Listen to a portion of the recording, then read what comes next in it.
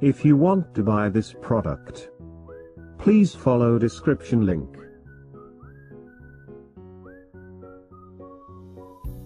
Right, well, hi there again, and uh, welcome to Burton on Humber. The original plan was that the uh, the next video in the series would be um, the, the second one about the diorama and uh, my sort of gradual progression with it. Um, however, I realised uh, that the next thing I need to do on the diorama is uh, weather up the, the um, ballast and the track and so on. And uh, the original plan was that I would use that as an opportunity to um, practice a little bit with an airbrush. Um, so with that in mind, I, um, I grabbed uh, hold of a compressor about a month ago. Um, I have taken it out the, uh, the box, um, but I haven't actually even turned it on or anything. I um, just took it out the box on the day and uh, just made sure that it didn't look like it was damaged or anything. Uh, didn't get a chance to sort of plug it all in and then turn it on. Um, I was very, very busy with work. we've got quite a big project on at the moment. So yeah, so that said, yeah, this is uh, the box that it came in. Uh, the compressor itself is actually an AS186. It's made by KMS. Uh, has just the, uh, the, the one compressor and this comes with a tank and so on. Uh, also comes with um, a, a, brush, in fact uh, two brushes and um, a, a, hose and, and, so on as well. Uh, so this is the, the box that it came in. Um, I've already just taken it out the, the box now. I took it out on the day and sort of put it back in there. Um, so that was the box. This is the compressor. Um, so yeah, I'll just uh, bring it a little bit closer, I guess. Hopefully I don't knock the camera doing that. Apologies if so. Yeah, so that's the, uh, the compressor. Um, as I say, it's got the, the main compressor at the top here, just, just the one. Um, has a safety valve, has a tank. Uh, I can't remember offhand um, how many litres that is. It might actually say here, and um, doesn't look like it does. So sorry, I'm not quite sure. Um, here it has the uh, dehumidifier, uh, which is apparently uh, really good so that you don't get like a build-up of water that then comes out the brush and spatters all the paintwork that you're doing. Uh, it has a regulator on the, the top here so you can uh, set your, your pressure. I haven't taken the plastic off or anything on there yet. Um, and you can use this to um, adjust your, your, your, pressure. So um, depending on what sort of size um, airbrush gun apparently you use, uh, what, how big the needle is, um, depends on how much pressure you want to put through it and also I guess what, what sort of um, uh, technique you're trying to use and so on. Uh, so that, that's the, uh, the compressor itself. As I say, um, it also came with a hose, so yeah, seems like a fairly good quality hose, nice sheath on it and so on. Um, that attaches just here on the compressor. Um, doesn't look like it's got a quick release or anything, but I probably won't be looking to swap brushes and so on very often, so I know um, that's apparently a problem for people if they use different brushes for different techniques. is a bit of a pain. Um, however, it's probably not going to be the case for me. The compressor itself, I've had a look at a few reviews about it, and uh, people say that it's not great if you want to use a, an airbrush all day. Um, it's not really sort of um, a big enough tank, and um, it, it, it's under strain too much, so it's going to kick in about every half hour, um, or it's going to overheat every half hour, which is not good. However, for um, it is recommended for things like um, doing sort of models and so on, where you just want to do a little bit of work for a while. You can turn it off for a while while you do some other stuff, and then you know sort of leave it half an hour and work another half hour on the compressor, which is pretty much sort of suits my needs. Um, it was pretty good. I mean, it was actually less than, than 80 quid uh, for the compressor, uh, coming with with the hose and so on as well, and uh, also two brushes. Um, the brushes come in the the, uh, the, foam and so on uh, them themselves are in like um, plastic boxes. Now, eventually, I'll probably get myself a, a better brush, no doubt. Um, I'm thinking maybe just getting going up to an Iwata Neo, which is probably a little bit better than this, but obviously you know, not top of the range or anything by any means at all. So, um, so it comes with this brush, uh, which uh, looks like it uses um, a, a, siphon uh, through to a bottle and um, um, I guess a bottom feed. I'm not quite sure what you call that, as opposed to the gravity feed one. Uh, so yeah, this. Is, oh, actually, I'll take it out. I guess so open it up, uh, yeah, there's the, your, your siphon bottle. Comes uh, with a little cup there. I'm not quite sure what that tool is is for. I guess I'll read the uh, the manual and uh, find that out. Comes with a, a, little spanner for fixing things into the place, and then it has the brush itself. So bring that out, yeah. So there's the uh, the, the brush. So it's um, a dual action uh, brush meaning that you can sort of run the air through it um, all the time. Um, you can't see the needle there, so there's actually a cap on it. Yeah, so you can sort of have the air running through it all the time, um, and then sort of uh, pull back on this to uh, let like the, the, paint come out as, as required and so on. So uh, apparently dual action is, is best when you're doing the modelling and so on. Uh, has a um, instruction in the, the bottom of the uh, box there um, talks about the, the mechanism, what all the parts are, um, how to maintain it, that sort of thing. So open it up there, so you can see it's um, yeah what, what model it is, what the mechanism is, a list of all the parts there, and then a diagram of all the, the parts matching up to that. So yeah, so that's uh, one of the, the brushes. Um, the one that I'll probably um, be more likely to use is uh, this one here. I think um, I like the look of the uh, gravity feed sort of uh, system more. So that's it there. So I'll open this one up. In fact, I'll just pause this for a moment uh, while I pack the other one away, um, sort of out the way. Okay, so that was the uh, the uh, siphon one, and this is the uh, the, the gravity feed. So it's got a, a little cup here which has a, a cap on it, which I'll try and attempt to take off.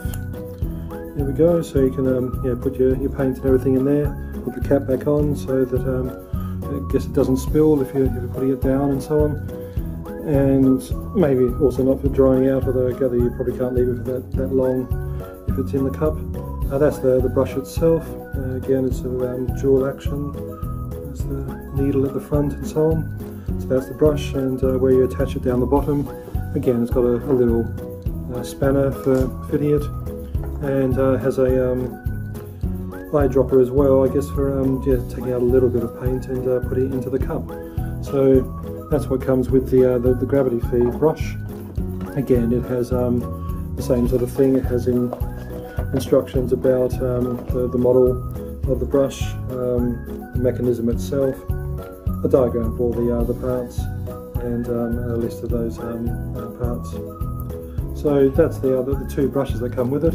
As I say, that should um, give me the opportunity to um, have a play around with uh, the two different sorts of airbrushes, see what I think, and maybe the siphon one is the one that will suit me, but um, I suspect it'll probably be the gravity feed, uh, simply because I want to do little bits at a time rather than sort of long things are going to need the, the, uh, the bottles and so on. Um, so the only other thing that uh, comes with that is um, an, overall um, set of man, uh, like um, a manual there, so a set of instructions. Just uh, open that up.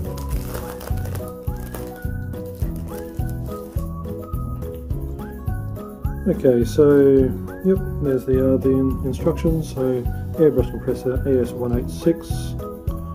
Um, the air tank's actually three litres. It says here. Uh, weighs uh, 5.2 kilo overall. Um, yes, it's quite easy to move around and you know, sort of pop on the table.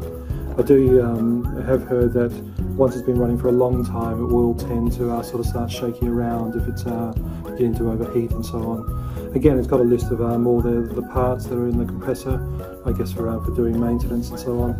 Um, I'll have a read through that uh, later on. So yeah, so that's the, compressor that I bought. Um, I'll pause it there and I'll be...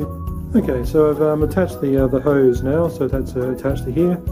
Um, I've attached the other hose at the other end onto the gun. Um, it had a little fitting that was already on the on the uh, gun itself um, to design to, to go into the end of a, a hose. And obviously I don't need that because the, the hose itself had a fitting. Uh, so I've taken that one off and um, attached the hose. I've attached the uh, the cup on the side there, uh, so just attaches on, on this side. Um, I had a little bit of trouble trying to sort of screw it on using the, the this ferrule here and um, found that if I actually sort of spun it round it seemed to uh, fit a lot better. Okay, so it's um, all, all attached. Um, the moment of truth, uh, let's see if it actually uh, runs. So haven't run this before, I hope it does work because um, I probably can't send it back at this stage. Here goes, uh, hopefully this is not too noisy, um, I apologise if it is. Here we go. Okay, so that is um, reasonably uh, loud, um, but yeah, not not too bad. I mean, I can I can live with that but I assume that the, uh, the compressor will run for a while and um, then once the, the, tank fills up and it's reached its full pressure then probably it will turn off for a while until we've used up the air in the tank and then it'll turn on and kick back in again. Uh, hopefully you can hear me um, talking over the top of that. Okay, so let's see if uh, we get air out of the gun. So I press down there we go. So that seems to be working as intended. Okay, so turn it, um, press it down, and then normally would uh, pull back uh, to release the, the paint. Okay, so that all seems to be uh, running as intended, which is good. I shall turn it off. Okay, so the, as I say, that's a little bit noisy, so I'll turn it off so you can uh, hear me a bit better there.